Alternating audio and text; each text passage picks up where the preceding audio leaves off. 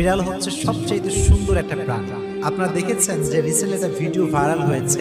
ইহান সাহেব নামাজ পড়াচ্ছেন আর এখানে একটা বিড়াল চলে আসছে। তো আমাকে একজন প্রশ্ন করেছে যে, হুজুর আল্লাহ সৃষ্টি আপনি ভাবতে বললেন, ঠিক আছে। বিড়াল পোষা কতটুকু যায়? এবং বিড়ালকে বাসায় রেখে পোষা কতটুকু যায়? এটা হাদিস থেকে জানার দরকারটা আছে না নাই? আজকে আমরা জানব what does Islam say about petting cats বিড়াল পোষা নিয়ে ইসলাম কি বলে? কোরআন কি বলে? জানার দরকারটা যুবক ভাইয়েরা আছে না নাই?